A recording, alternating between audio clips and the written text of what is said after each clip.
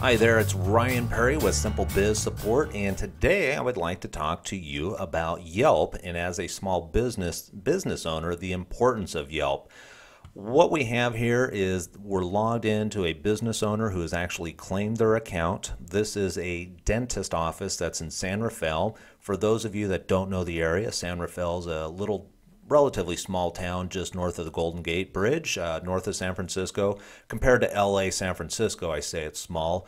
Um, however, you can see they've actually had 479 views in the last 30 days.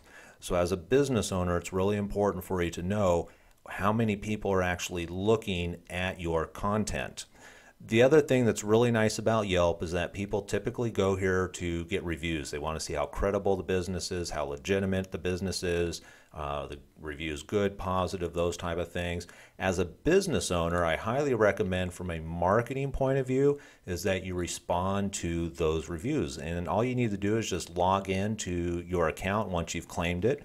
Click on the reviews over here on the left hand side. You can see there's a number of reviews um, that this account has. One of them's got two stars, but everything else is five stars. And for a dentist, this is actually very, very good.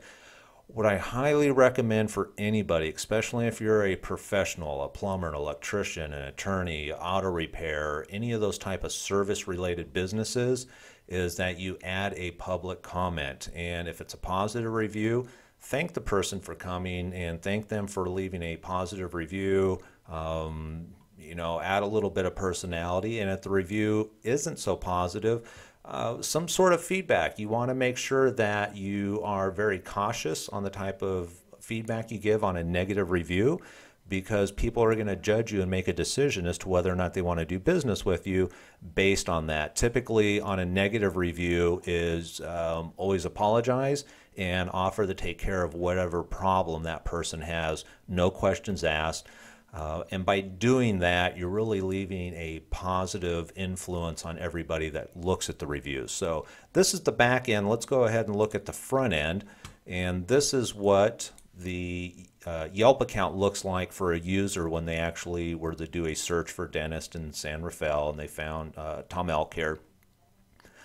When they're scrolling through, you can see the reviews pop up very quickly when Dr. Elk actually leaves a review, and that will actually show up here on the main page. So again, from a marketing point of view, it has a very strong and impactful statement to people that you're actually an engaging business. You're not just taking, but you're willing to give back. So again, this is Ryan Perry with Simple Biz Support talking about the power of Yelp business owners, claim your accounts and then make sure you follow up on all reviews in a timely manner. If you have any questions on this, make sure you leave a comment down below. Thank you.